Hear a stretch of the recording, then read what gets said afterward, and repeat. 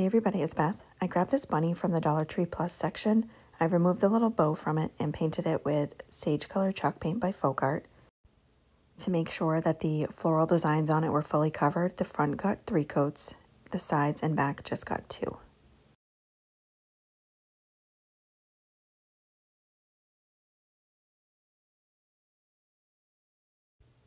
Once that was completely dry, I took some painter's tape and taped off the bunny and I'm going to paint the bottom just because it's a little scratched up and has some marks on it. So I took antique parchment acrylic paint and gave that two coats.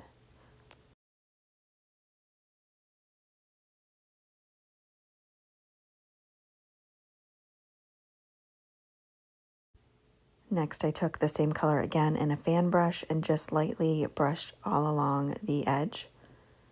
I kind of just blended it in with my finger as I went along.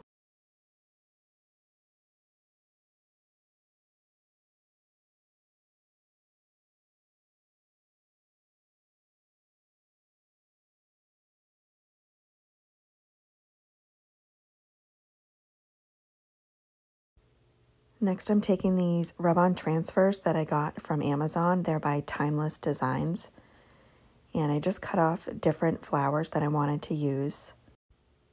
I kind of saw where I wanted one of them to go and held it on the bunny and then traced out where there's going to be excess, so I just cut that excess off. And then just had to remove the backing and then place down the transfer.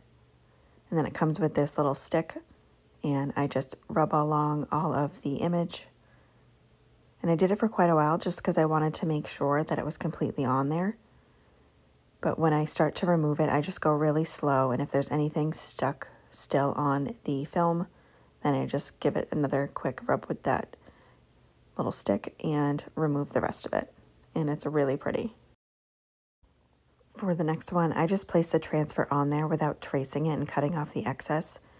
And what I do is once I have the transfer, I'll rub it on there around the bunny where there's going to be the excess, I just kind of rub it along the edge, just to kind of break apart the transfer so the rest of that flower will stay intact and then I can just save that for later.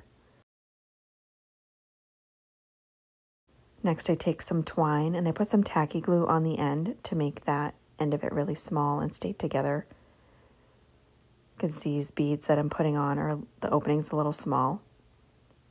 Once I have a bunch on there, I'm making like a little necklace for the bunny.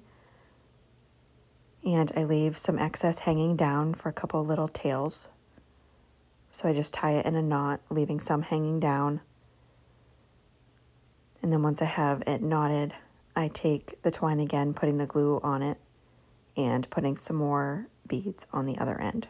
I'm not quite sure of the size of these, maybe about 10 or 12 millimeters. These came in a multi-pack from Dollar Tree so I don't know the exact size.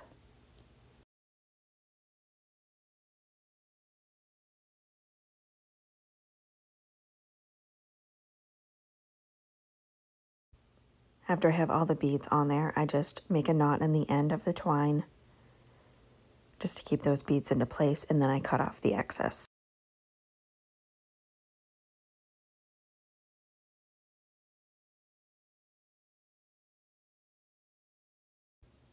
That is it for this project. Thank you so much for watching.